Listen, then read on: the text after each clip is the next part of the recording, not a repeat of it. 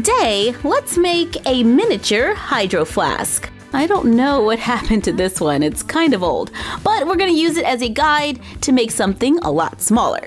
I have some printables that are available on our blog, myfroggystuff.blogspot.com, that we can use for the outside of our hydro frog.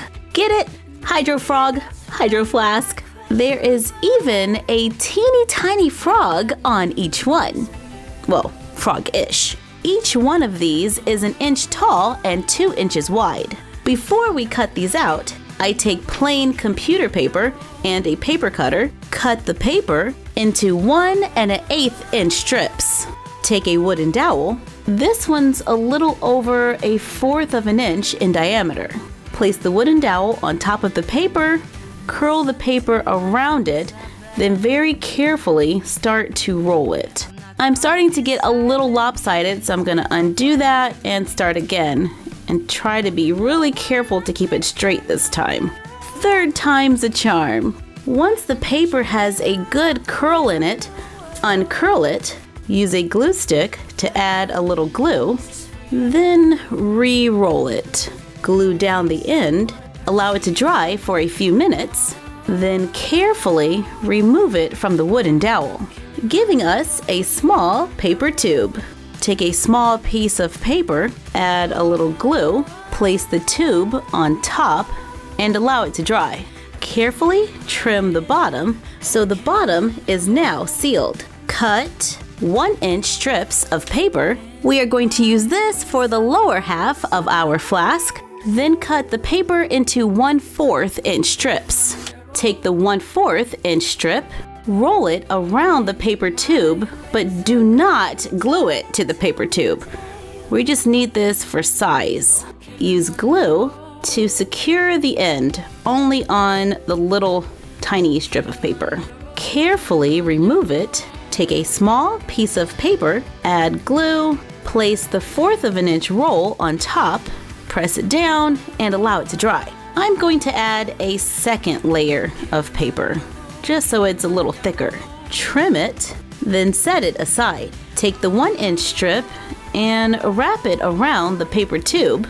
I am using glue to start it, and I want to make sure I'm starting at the bottom of the paper tube, gluing it down along the way. Take cording, thread, or embroidery floss, wrap it around the top edge, glue it in place, trim off the excess, Get some silver acrylic paint, paint the inside of the paper tube and around the top.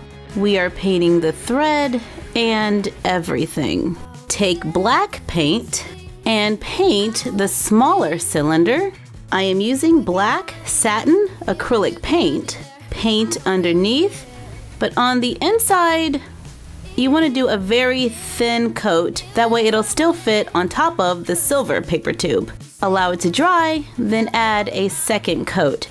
I want to make sure mine has really good coverage, so I'm taking my time and making sure every little nook and cranny is covered.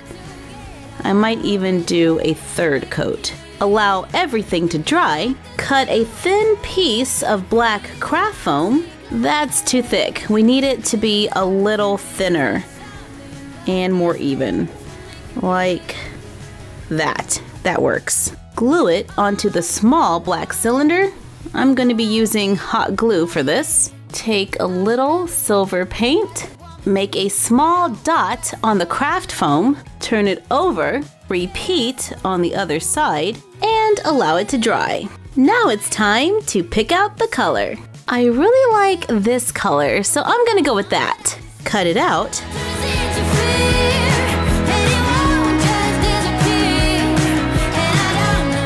take the silver paper tube and glue on the printables starting at the back. We're just to wrap that going all the way around and then use glue to secure the end. Now here's the moment of truth. Will this fit? And yes, it fits! We made a miniature water bottle inspired by Hydro Flask. That's pretty close. I like how the top can be removed. let's think of some fun ways we can use our Hydro Frog.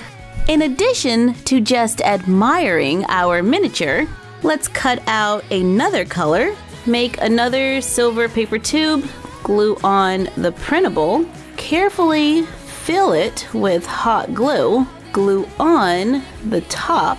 That's hot. We're gonna allow that to dry.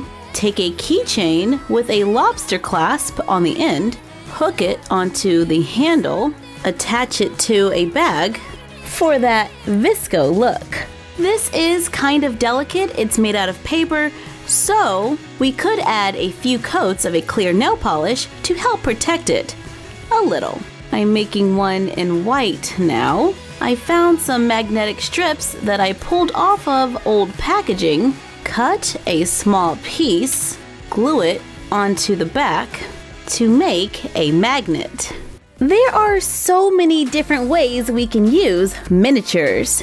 Be sure to check out our Instagram at MyFroggyStuff for other ideas. Personally, I am a big fan of dioramas. I love miniatures. Thank you for joining us while we made miniature water bottles inspired by Hydro Flask. Like, comment, share, and subscribe. Don't forget to ring the bell and follow us on Instagram at MyFroggyStuff and the Frog Vlog. And you're done. Happy crafting!